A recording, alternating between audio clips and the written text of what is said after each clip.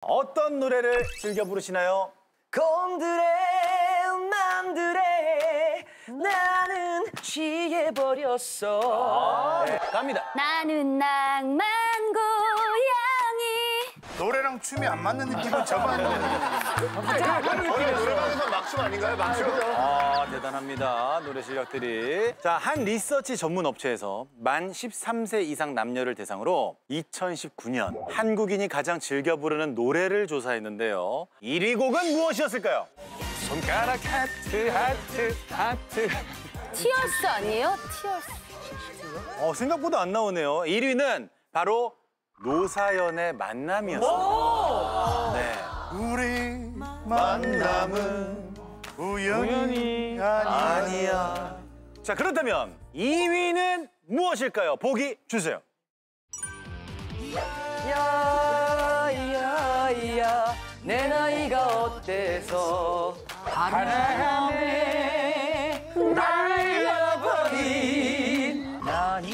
지쳤어요 땡벌 네, 잠깐만. 제가 내 나이가 어때서가 1위 한 적이 있어. 있어, 있어. 있는데 작년이었는지를 모르겠는 거야. 2, 3년 전이지. 2, 3년 전이지. 2, 3년. 2, 3년 전. 여기 1, 2년. 여기 4, 5년. 아, 오케이, 오케이. 근데 이게 딱 나온 지가 꽤 됐네. 노래방 근데 애창곡 항상 이거 떠 있어. 13세 이상이면 어린 친구들이 트로트를 한참 작년에 좋아할 거야. 그런 생각으로. 아나 땡벌인 것 같아. 왜냐면 노 그니까. 많이 불렀어 옛날부터. 근데 왜냐면 저는 이 두 노래를 잘 몰라요. 이건 좀 안 돼 이건 잘 몰라요. 근데 이건 확실히 안단 말이에요. 근데 나보다 더 어린 친구들이면 다 모를 거야. 그러니까 이거. 만 13세 이상. 땡벌 가자. 너 너 너 땡벌, 필대로 땡벌. 땡벌 땡벌 오케이. 봄이 봄이 필대로.